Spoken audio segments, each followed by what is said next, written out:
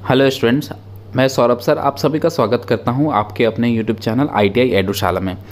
जैसा कि आप लोगों को थंबनेल देख के ही पता चल गया होगा कि आज के इस वीडियो में हम किस टॉपिक के बारे में चर्चा करने वाले हैं। जी हाँ आई के साथ इंटर कैसे करें? या तो आईटीआई कर रहे हो, या आप आईटीआई पास कर गए हों। सभी के लिए ये सुनहरा अवसर है। बहुत सारे आईटीआई छात्रों को इसके बारे में जानकारी नहीं है। कुछ छात्रों को जानकारी है, लेकिन ऑलमोस्ट जितने भी छात्र हैं, उसमें कुछ ही छात्र को इसके बारे में पता है, बहुत सारे छात्र को इसके बारे में पता नहीं है।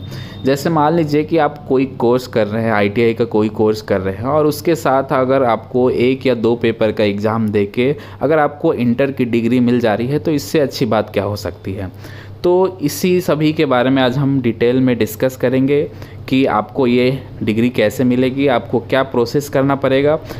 ऑल ओवर इंडिया में अगर आप आईटीआई में कहीं भी एडमिशन लेते हैं तो आपका जो मिनिमम क्वालिफ़िकेशन होना चाहिए, वो क्लास टेंथ होना चाहिए।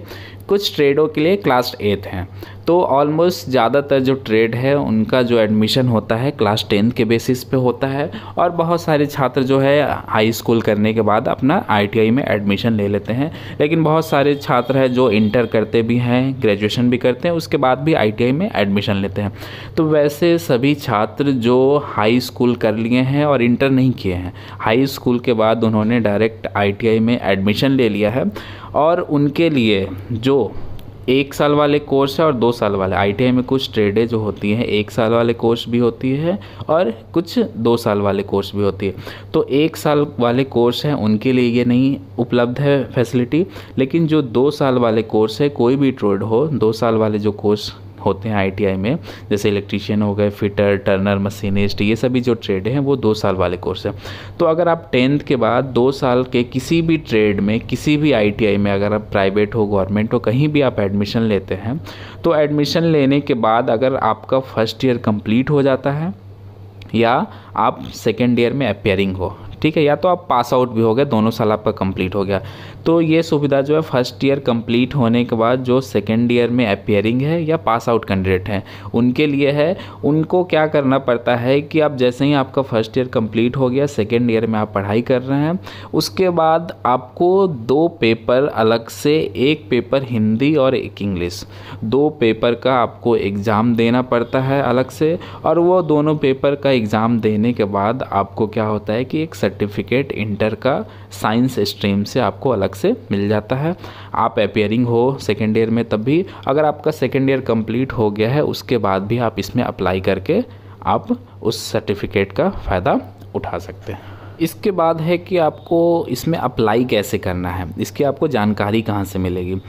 तो ये है कि आपको आईटीआई से इसका कोई मतलब नहीं है। आईटीआई में ये सुविधा उपलब्ध नहीं है। आईटीआई जब आप जहाँ से कर रहे हैं, वहाँ से ये आपको कोई प्रोसेस नहीं होगा। उसके लिए आपको क्या करना पड़ेगा कि ये दो तरीके से किया जाता है कि आप जिस स्टेट में हो, उस स्टेट बोर्ड द्वारा भी ये एग्ज़ाम कराया जाती है और एक NIOS सुना होगा आपने National Institute of Open Schooling ये दो संस्था द्वारा ये आपका एग्ज़ाम कराया जाता है NIOS के द्वारा और स्टेट बोर्ड के द्वारा। तो NIOS का हर एक डिस्ट्रिक्ट में एक नोडल सेंटर होता है, वहाँ से आपको संपर्क करना पड़ेगा, वहाँ जाके आपको संपर्क करके अपना प्रोसेस कंप्लीट करवाना पड़ेगा। और दूसरा होता है कि आप जिस स्कूल से, अगर आप आपके नज़दीकी में जो भी सरकारी गवर्नमेंट स्कूल हो, जो नोडल सेंटर हो स्टेट का, वहाँ जाके आप संपर्क कर सकते हैं। और बिहार में ये फैसिलिटी है कि जब आप जहाँ से आईटीआई कर रहे हैं, उसी आईटीआई में संपर्क करके आपको क्या करना पड़ेगा? सभी फॉर्म अप्लाई करना पड़ेगा। वहाँ जाके आप सभी डॉक्यूमेंट अपना जमा करिएगा, जिसमें आपको फ़र्स्ट ईयर का मार्कशीट होगा, आधार कार्ड होगा और क्लास टेंथ का मार्कशीट होगा पासपोर्ट साइज़ फ़ोटो ये सभी आपको दे के वहाँ पर सबमिट करना पड़ेगा। और जो कॉलेज है आईटीआई कॉलेज है, वो खुद अपना लॉगिन से क्या करेंगे? अप्लाई करेंगे आपको। जो उत्तर प्रदेश स्टेट से बिलोंग करते हैं वह अपने नज़दीकी किसी सरकारी गवर्नमेंट स्कूल में जाके संपर्क करें, जो नोडल सेंटर हो, या अपने डिस्ट्रिक्ट के जहाँ पे एन का नोडल सेंटर हो, वहाँ जाके आप संपर्क करके फॉर्म को अप्लाई कर सकते हैं। आप फ़र्स्ट ईयर पास कर चुके हैं, सेकेंड ईयर में पेयरिंग हो, या आपका आई टी हो चुका हो। जो बिहार के छात्र हैं, वो अपने आईटीआई में ही संपर्क करके अपना फॉर्म अप्लाई कर सकते हैं, सभी डॉक्यूमेंट जमा करके। और राजस्थान में भी ये फैसिलिटी है, गुजरात में भी बहुत सारे स्टेट है, लेकिन और कुछ स्टेट है जहाँ पे ये फैसिलिटी अवेलेबल नहीं है। तो धीरे धीरे ये सभी, आप सभी स्टेट तक ये जारी कर दिया जाएगा। उसके बाद आप सभी भी टेंथ के बाद आईटीआई अगर कर रहे हैं तो आपको उसके साथ इंटर की डिग्री भी आपको मिल जाएगी। उस पर अलग से आपको मार्कशीट मिलेगा, जिसमें हिंदी और इंग्लिश का पेपर होगा। उन सभी दोनों पेपरों में आपको क्या करना पड़ेगा? कंपलसरी है कि आपको दोनों पेपर में पास करना पड़ेगा। उसके बाद उसका अलग से मार्कशीट और आपको सर्टिफिकेट प्रोवाइड कराया जाएगा। स्टेट बिहार से जो भी छात्र अभी आईटीआई कर रहे हैं, वो जैसा कि आप स्क्रीन पर देख पा रहे हो कि औद्योगिक प्रशिक्षण उच्च माध्यमिक स्तरीय भाषा, हिंदी एवं अंग्रेज़ी परीक्षा 2023 में शामिल होने हेतु औद्योगिक प्रशिक्षण संस्थान आईटीआई में प्रथम वर्ष उत्तीर्ण एवं द्वितीय वर्ष में अध्ययनरत अथवा औद्योगिक प्रशिक्षण परीक्षा उत्तीर्ण अभ्यर्थियों का ऑनलाइन परीक्षा फॉर्म भरा जाना। ठीक है, इसमें आपको दे दिया गया कि जो प्रथम वर्ष फ़र्स्ट ईयर पास कर चुके हैं या सेकेंड ईयर में वो पढ़ रहे हैं, या तो उन्होंने आई टी कंप्लीट कर चुका है, उनका ऑनलाइन फॉर्म फिलअप किया जा रहा है। इसकी जो वेबसाइट दी गई है आपका secondary dot Bihar board online dot com के माध्यम से पाँच आपका जनवरी 2023 से 25 जनवरी तक फॉर्म फिलअप किया जाएगा। ये आपका फॉर्म फिलअप किया जाएगा, प्रशिक्षण संस्थान के प्रधान द्वारा भरा जाएगा। मतलब आपको खुद फैसिलिटी नहीं दी गई कि आप खुद कोई भी स्टूडेंट अप्लाई कर सकते हैं, आपको आई में जाके संपर्क करना पड़ेगा। वहाँ से ही आपका फॉर्म अप्लाई होगा, इसमें मेंशन कर दिया गया पूरा।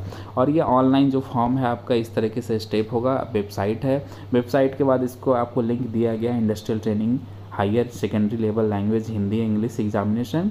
उसके बाद आप वो कॉलेज वाले यूज़र आईडी पासवर्ड अपना इंटर करेंगे, लॉगिन करेंगे और उसमें आपका ऑनलाइन फॉर्म फिलअप करने का डिटेल आएगा। फॉर्म फिलअप करके आपको उसमें सबमिट कर देना है। तो ये सभी प्रोसेस है, उसके बाद आपको पेमेंट करना पड़ेगा। कि कितना पेमेंट लग रहा है, ये अपने कॉलेज से संपर्क करके आप पेमेंट करेंगे, उसके बाद आप इसमें अप्लाई कर देंगे, उसके बाद आपका एग्ज़ाम होगा।